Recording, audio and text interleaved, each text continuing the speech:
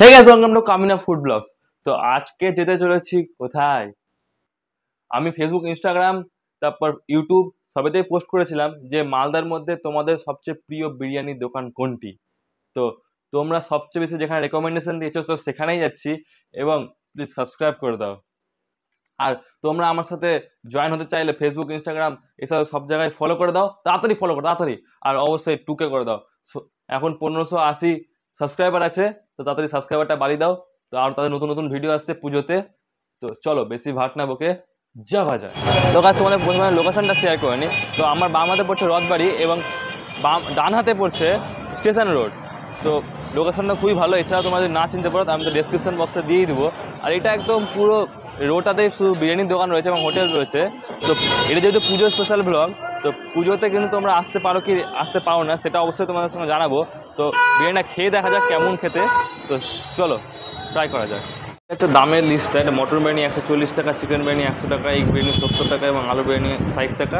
আর mutton চাপ বা chicken চাপ এক্সট্রা করে নিয়ে লেগে এগুলো দামগুলো রয়েছে। তোমরা স্ক্রিনশট মেরে নিয়ে নিতে পারো। তো হায়দ্রাবাদি বিরিয়ানির দোকানে ওনার সাথে কথা বলে নিচ্ছি। দাদা লোকেশনটা কি দোকানটা স্টেশন রোড মেয়ে রাতবাড়ি চক করে রাতবাড়ি আচ্ছা এটা দাম কীরকম কী রয়েছে মানে সব কিছু বিরিয়ানির मटन है एक सौ चालीस रुपये चिकन है एक सौ रुपये आलू ऐसे- आलू बिरयानी है साठ रुपये डिम बिरयानी सत्तर रुपये मटन चाप है अस्सी रुपये আপনাদের কোনো শাখা রয়েছে এটা বিরিয়ানির দোকান ছাড়াও এটা মানে আর কোনো ব্রাঞ্চ আছে আপনাদের না না এই হায়দ্রাবাদি বিরিয়ানি খেতে গেলে এখানে মালদা আসতে মালদা হবে डिस्ट्रिक्ट हाँ এখানেই আসতে হবে খালি এখানে আসতে আর আপনার দোক- মানে স্পেশাল মানে কি বিরিয়ানিটা মানে এত নাম কি কেন যে দোকানে মানে যে বিরিয়ানিটা যে হবে। मतलब हम हम हैदराबाद के जैसे मतलब थोड़ा का सा style बिरयानी करते हैं। हाँ, टाइप करते हैं আচ্ছা আচ্ছা আর চিকেন চাপ বা এছাড়াও ওগুলো चिकन चाप भी और আর এক একটা পিস কিরকম ওজনে থাকছে डेढ़ सौ ग्राम দেড়শো গ্রামের ওজন একদম ধরা হ্যাঁ, হয় হ্যাঁ। দিনে কটা বিক্রি হয়? দশটা। দশটা হাঁড়ি তাহলে দিনে বিক্রি হ্যাঁ। হয়ে। যায়। দিনে দশটা হাঁড়ি বিক্রি হয়ে যায় অনেকটাই তাহলে। আর এক্সট্রা কেউ তো এক্সট্রা পাবে? হাফ রাইস তিরিশ টাকা। এমনি এক্সট্রা রাইস দিতে না মানে টাকা লাগবে এমনি দিয়ে আর পুজোতে কিছু স্পেশাল দুর্গা পুজোতে স্পেশাল কিছু থাকছে? আসবে তো হয়ে যাবে। দুর্গা পুজো ঠিক আছে তো কথা বলে খুব ভালো লাগল। থ্যাংক ইউ গাইস যেহেতু এই টাইমটাতে একমাত্র ফাঁকা থাকে, তো এখন বাঁচতে মানে পাঁচটা সম্ভব। তো এই টাইমটাতে একমাত্র এই দোকানটাতে ফাঁকা থাকে। তো এখন বিরিয়ানি শেষ হয়ে গেছে, বিরিয়ানি নেই। তো বিরিয়ানি একদম গরম হাড়ি আসছে। তো সেটাই ওয়েট করছি। তো তারপর দেখা যাবে। আর এমনি এই টাইমটা ছাড়া খুবই ভিড় থাকে, দুপুরে তো খুবই ভিড় থাকে, একদম মানে বসার জায়গাও থাকে না। এদের তিনটা দোকান আছে, আর লোকেশনটা তোমার সময় ডেসক্রিপশন বসে দিয়েও তাতে কোনো অসুবিধাই হবে না। তো চলো, খাওয়াটা না থাকলে সুখিতা পেয়েছে। হয়ে গেছে চলে এসছে আমাদের বিরিয়ানি। এক- একদম দেখতে পাচ্ছ, গরম গরম বিরিয়ানি চলে এসছে, একদম ধোঁয়া বেরোচ্ছে। তো একদম হাইটা সঙ্গে সঙ্গে কাটলো। তো কী কী দিয়েছে সেটা আগে দেখাই। তো একটু ক্যামেরাম্যান করে ভালোভাবে ক্লোজ থেকে দেখাতে। এটা চাটনি দিয়ে দেখো এটা চাটনি। এটা কিন্তু চাটনিটা এখানেই পাওয়া যায়। আর এটা হচ্ছে গ্রেভিটা দিয়েছে। যেটা চিকেনের গ্রেভি হয়, সেটা গ্রেভিটা দিয়েছে। আর এখানে দেখছে মটনের পিসটা এটার দাম হচ্ছে একশো চল্লিশ টাকা। আর আলুর সাইজটা আমার একটু মনে হলো ছোটোই লাগছে। এবার সত্যি সেটাই বলব, আলুর সাইজটা ছোটো। কিন্তু নরম পুরো তুল তুলে একবারে, একটুতে ভেঙে যাচ্ছে। মাংসটা ওইরকম নরম তুল তুলে নাই বাট জুসি লাগছে। তো খেয়ে দেখা যাক কেমন লাগে। তো রাইসের পরিমাণে কোয়ান্টিটিও ঠিক আছে।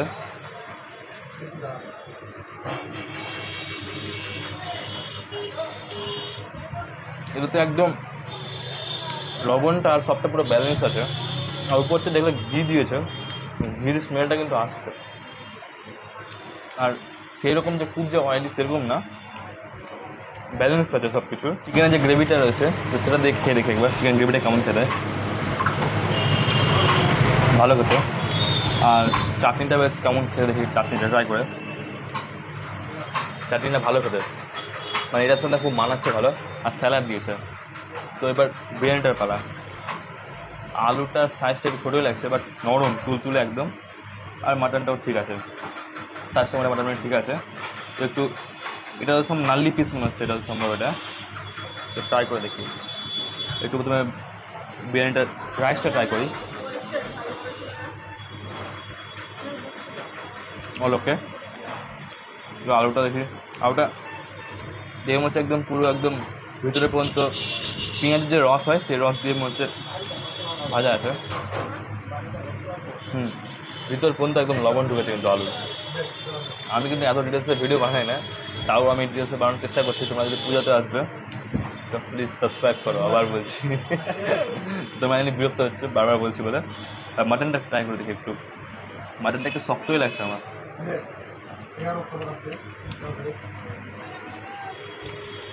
না, চলবে। বান্ডে একদম ঝুরঝুরে একদম নরম তুলতুলে ব্যাপারটা, সেরকম ব্যাপারটা নেই। ভালো। অল ওভার একশো চল্লিশ টাকা দাম। খেতে ভালো। তো এবার বোন চিকেন বিরিয়ানি নিয়েছে, তো ওই ট্রাই করবে এবং বলবে যে কেমন খেতে। তো আজকে আমার সাথে বোন এসছে, তো বোনকে দিয়ে বলাবো। আর ওই কিন্তু আমার বেশিরভাগ ভিডিও এডিট করে। আর খুব সাপোর্ট করে আমাকে সব কিছুতে চলো, ওর রিভিউটা শুনে নাও একটু। তো দাদা তো বলল, তার মটন বিরিয়ানিটা কেমন লাগছে? আমি চিকেন বিরিয়ানিটা কেমন খেতে? তো আমি এখানে চিকেন বিরিয়ানি নিয়েছি। এখানে আমি দেখতে পেলাম, দু পিস আমাকে আলু দিয়েছে, আর একটা বড় দেখে একটা আমাকে চিকেন, চিকেনের পিস দিয়েছে, সাথে একটা গ্রেভি দিয়েছে, একটা চাটনি দিয়েছে স্যালাড রয়েছে।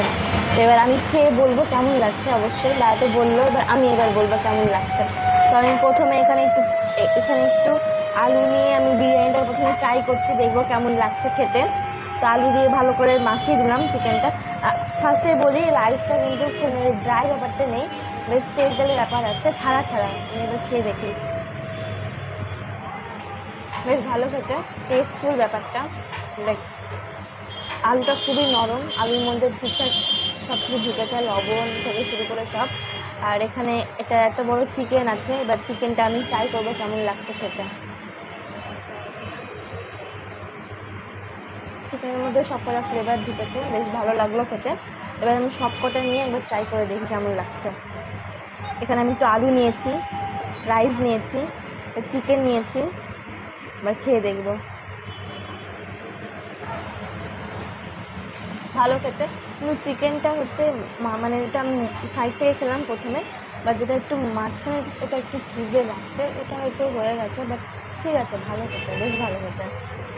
A few moments later. দাদার এত ভালো লেগেছে দাদা দেখুন হাড়টাকেও ছাড়ছে না হাড়টা চিবিয়ে খাচ্ছে। আমার আমার আমার এই পাতে চিকেনের ইটা ছিল হাড়টা ছিল ওই হাড়টাকে চিবিয়ে ফেলেছে এত পছন্দ হয়েছে। কত কত খাবি? কত খাবি? এটা তো আমি রাখবোই গাইস এটা তো আমি রাখবোই। দেখুন, আপনার কামিনা ফুড ব্লগস কীরকম করে খাচ্ছে। Expose Kamina food blogs expose আমার চাইলে আমার তো বিরিয়ানিটা খেলাম। জানালাম তোমাদেরকে কেমন লাগল। তো, বিরিয়ানিটা বেশ ভালো ছিল দাদা বলল যে চিকেনটা হচ্ছে লাইক টেস্টের সাইড থেকে ছিল। ওই জন্য একটু ছিবড়ে ছিল, কিন্তু সেটা ভালো মানে টেস্ট ছিল টেস্টফুল ছিল সব কটাই আমারটাতে দুটো পিস আলু ছিল বাট দাদাটাতে এক পিস আলু ছিল ও তাই- জন্য ও আমার কাছ থেকে একটু আলুটা নিয়েছে।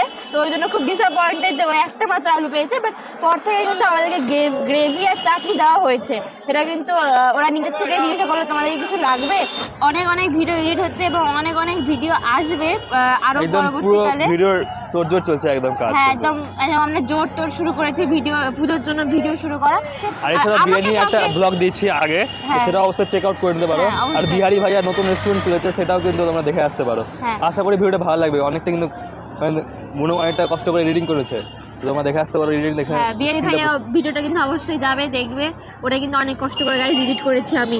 তো আমাকে আর সাথে চাও কিনা তোমরা সেটা জানাও। তাহলে আমি আবার আসব এরকম সাথে তোমাদের সাথে ব্লগ করতে তার সাথে ব্লগ করতে এবং জানাব তোমাদেরকে কেমন লাগছে এরকম খাবার দাবার। তো আবার দেখা হবে আবার কোনো পরবর্তী কোনো ভিডিওতে আমাকে আবার দেখতে পাবে চিন্তা নেই। তো ভালো থেকো সাথে থাকো পাশে থাকো অ্যান্ড সাবস্ক্রাইব পুজো তো চলেই এসছে।